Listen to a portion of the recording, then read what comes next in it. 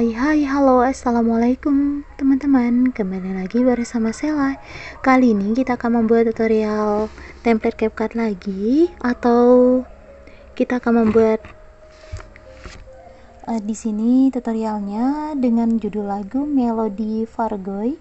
Langsung aja kita masuk ke aplikasi CapCutnya. Kemudian kita buat dulu untuk proyek baru. Sorry di sini tambahkan satu foto ya teman-teman yang akan kalian gunakan. Ini foto pertama ya. Nah foto pertama. Kemudian kita bisa pilih hapus akhirannya. Klik audio.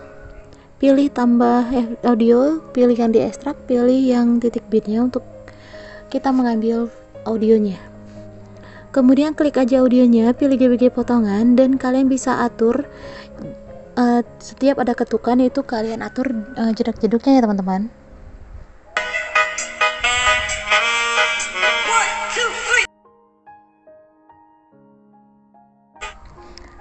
Oke, jika sudah kita checklist dan di sini buat kalian yang misalnya tidak bisa mengatur titik bitnya, kalian bisa cek di deskripsi ada mentahan titik bitnya. Nah, di sini kita bisa hapus akhirannya, kemudian kita bisa pilih format dulu, pilih 9 banding 16. Nah, untuk titik yang untuk uh, foto yang pertama kita taruh di bagian titik pertama. Nah, seperti ini ya, teman-teman. Nah, jika sudah, kita bisa klik ikon tambah lagi. Kita bisa pilih dua foto yang akan kita edit berikutnya ya, teman-teman. Nah, di sini untuk fotonya kita zoom sedikit seperti ini. Dari format itu kita zoom sedikit untuk foto kedua juga ketiga ya tapi tepatnya. Zoom sedikit seperti ini.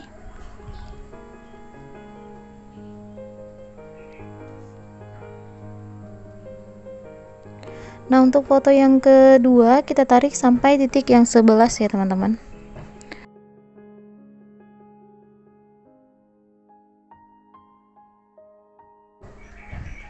Nah, untuk foto yang ketiga sampai ke titik yang terakhir. Nah, jika sudah, kita bisa kembali ke foto per kedua dulu ya, teman-teman. Kita lebarin seperti ini. Tambah satu keyframe di awalannya dan kita ke titik kedua. Tambah satu keyframe di awalannya di sini di titik kedua, di pertengahan bisa kalian lihat ini titik ketiga, ini kedua di tengah-tengahnya ini kita bisa tambahkan satu keyframe tetap. Di titik ketiga kita bisa perbesar fotonya. Kemudian kita ke titik kelima ya. Ini tiga empat lima. Di sini tambahkan satu keyframe tetap. Kemudian di sini di titik keenam ini kita bisa perkecil fotonya atau kembali ke ukuran sebelum kita zoom tadi.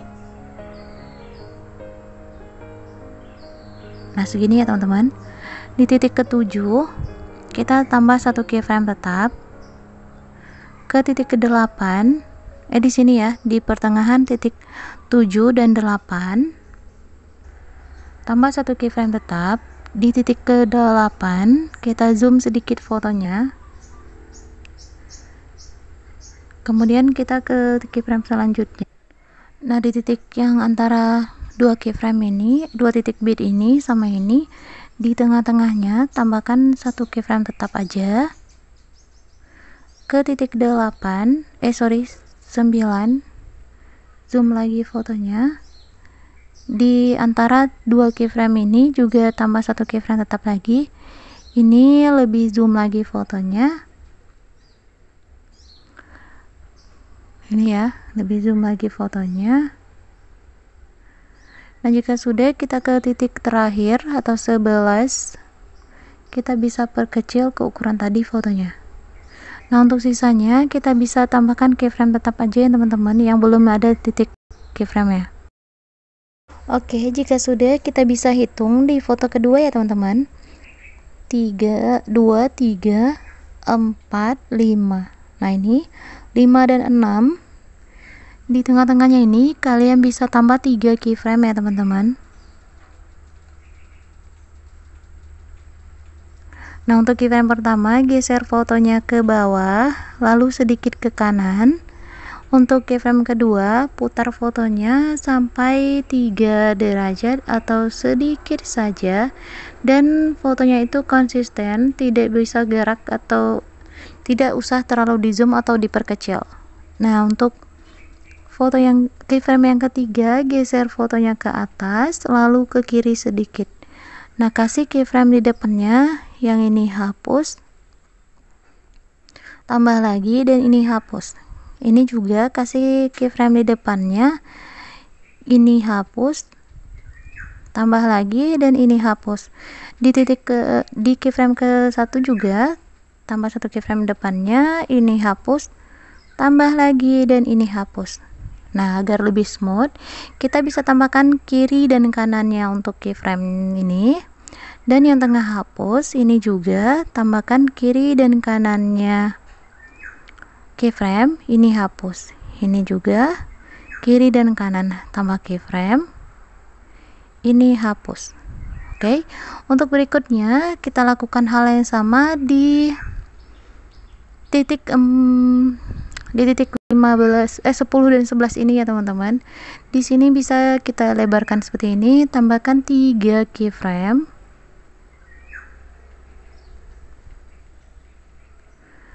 Nah, untuk keyframe pertama geser fotonya ke bawah ke kanan sedikit.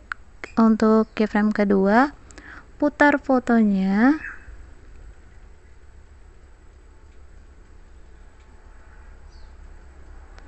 Kemudian ke titik 3, ke keyframe 3, geser fotonya ke atas lalu ke, ke ke kiri sedikit, tambah keyframe di depannya.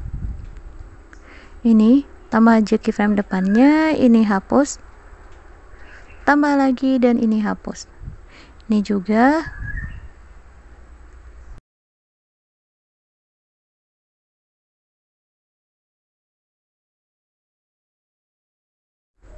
Oke, selanjutnya kita tambahkan 3 2 keyframe di depan dan belakangnya. Ini hapus. Ini juga. Lalu ini hapus.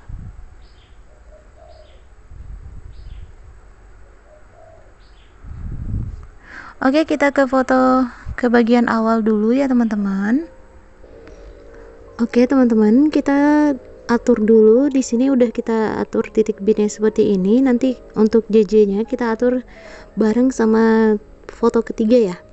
Jadi di sini saya sebenarnya sama aja tadi. Seperti yang ini di foto kedua.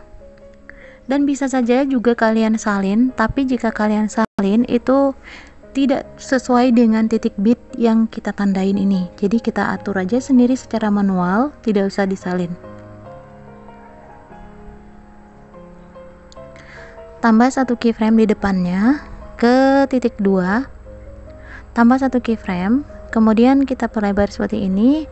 Di pertengahan ini kita bisa tambah satu keyframe, kemudian ini kita zoom fotonya kemudian ke titik kelima ini 3 4 5 tambah satu keyframe tetap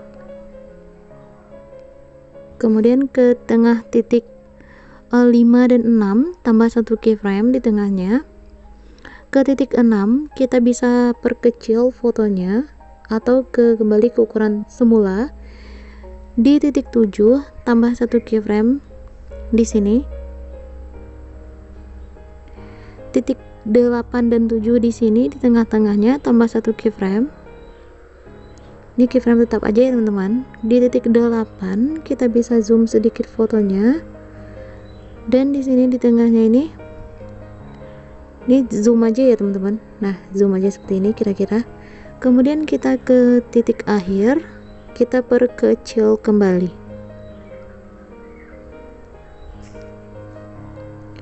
Nah seperti ini. Oke.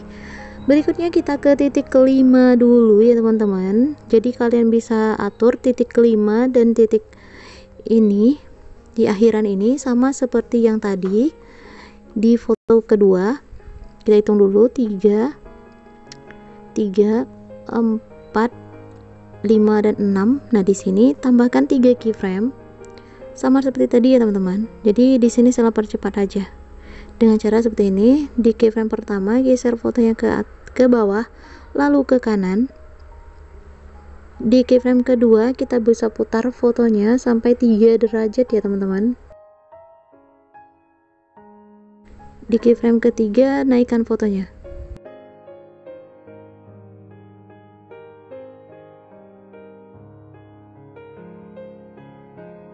Oke teman-teman, jika sudah kita ke foto bagian ini ya teman-teman. Di bagian akhirnya ini sama aja seperti tadi, kita tambahkan 3 keyframe.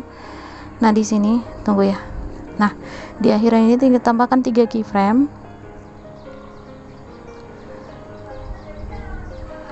Nah, geser fotonya ke bawah, lalu ke kanan sedikit aja.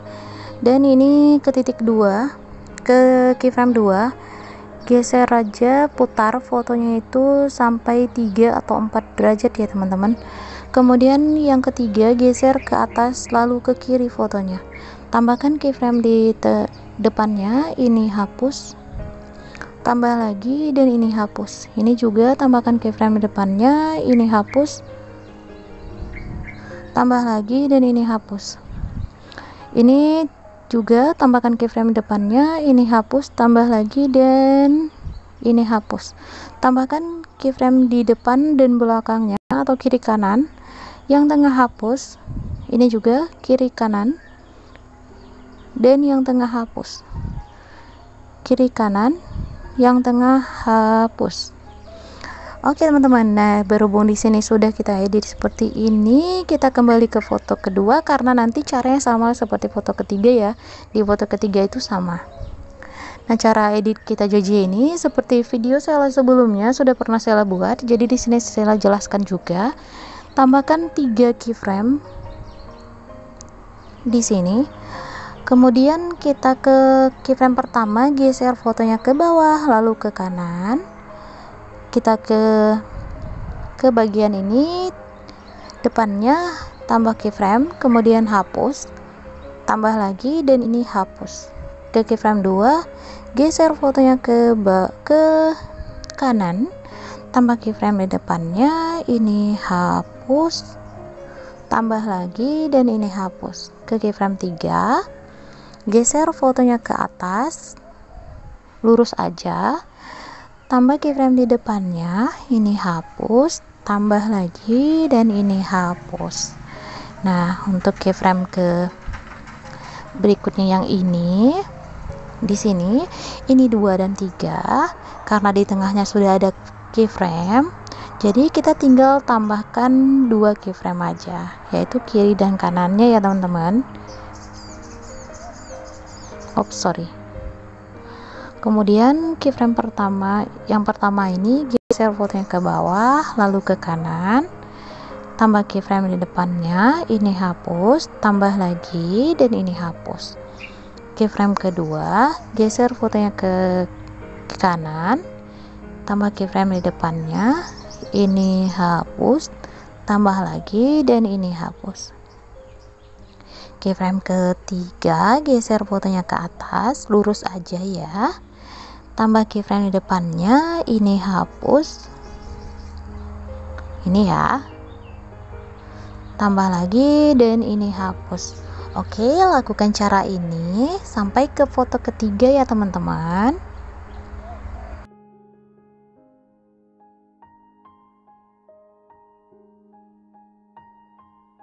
Oke teman-teman, jika sudah seperti ini, kita akan lebih perhalus JJ-nya, kecuali yang kita buat JJ shake tadi yaitu di bagian titik 10 dan 11 dan 5 dan 6 ya. Itu tidak kita atur seperti ini. Caranya tambahkan satu keyframe di depannya. Ini hapus. Tambahkan. Ini hapus. Ini juga. Tambahkan keyframe depannya. Ini hapus. Tambahkan dan ini hapus di titik ketiga, di keyframe ketiga juga tambahkan di depannya ini hapus tambahkan dan ini hapus. Di titik bitnya kita lakukan hal yang sama tambah satu keyframe depannya ini hapus tambah lagi dan ini hapus. Nah lakukan aja cara seperti ini sampai ke foto ketiga ya teman-teman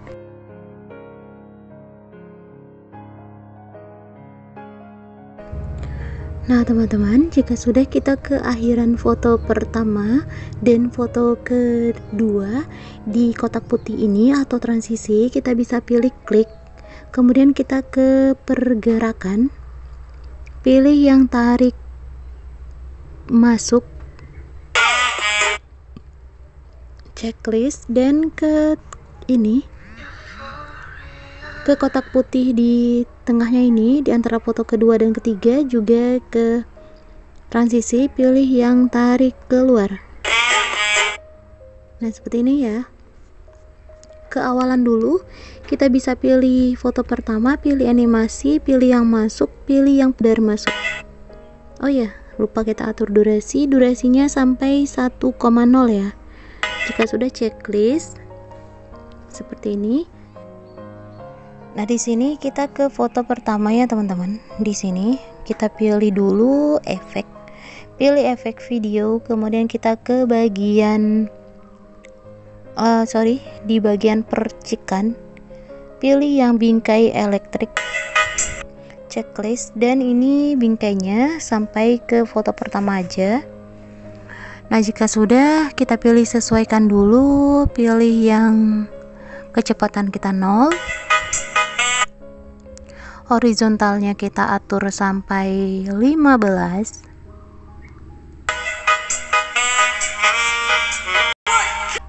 atau 20 aja ya. Tergantung kalian ingin kecepatannya seperti apa. Oke 20 kemudian ukuran kita full 100 intensitas kita nolkan checklist dan zoom fotonya agar bingkai hitamnya itu hilang ya teman-teman. Nah dia kan seperti ini. Kemudian kita bisa pilih di bagian efek lagi pilih yang efek video pilih ke bagian lens pilih yang vignette ya teman-teman di sini efek vignette-nya bisa kalian atur sampai ke akhir foto atau bisa kalian atur sesuai dengan kalian atau hanya cuma satu foto ini aja. Nah, jika sudah kita bisa pilih dulu efek vignette-nya, kita pilih objek, pilih semua. Kemudian kita ke bagian efek lagi, pilih efek video, pilih yang retro Pilih yang cahaya retro. Tarik cahaya retronya sampai ke akhir juga, pilih objek, pilih semua. Kemudian ke awalan seperti ini, pilih overlay, tambah overlay, pilih video stock, pilih yang hitam, kemudian tambah. Zoom sesuai dengan format, tarik sampai ke akhir foto pilih gabungkan, pilih yang atur sampai yang kalian inginkan. Nah, untuk cahaya itu sebes, uh, terangnya seperti apa, di sini bisa kalian atur aja. Di sini saya atur sampai 58 jika sudah checklist. Oh iya, teman-teman, ada yang lupa, efek retronya kita atur dulu ya. Pilih sesuaikan, kita pilih filter kita 100 eh sorry intensitas 100 filter 0 rentang 100 kita sudah checklist dan kita tambahkan dulu video akhirannya. Untuk video akhirannya kalian bisa cek di deskripsi. Jika sudah checklist nah untuk video akhirannya ini sesuaikan aja. Soalnya kita potong sesuai seperti ini. Nah ini ya teman-teman. Nah di sini kita atur dulu untuk efek di titik berikutnya. 1 2 3 3 4 5 6 dan 7 di sini kita pilih efek pilih efek video kita ke bagian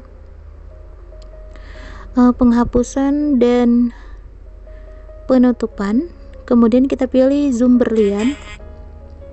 Dan untuk zoom berliannya kita tarik sampai ke sini Nah, pilih sesuaikan untuk intensitas kita ukuran kita full. Nah, ini kita atur sampai 75. Nah, jika sudah hapus eh sorry, checklist. kecepatan sampai ke 35 aja checklist dan salin lalu letakkan di titik 6 dan 7 di foto ketiga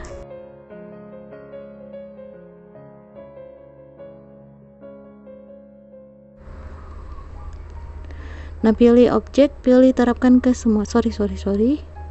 Pilih terapkan ke semua. Ini juga terapkan ke semua. Nah seperti ini ya teman-teman. Oke jika sudah kita bisa tingkatkan bingkai kemudian resolusi juga lalu ekspor. Nah, segitu dulu untuk tutorialnya. Semoga kalian suka. Sampai jumpa di tutorial saya berikutnya. Assalamualaikum. Annyeong. Bye-bye.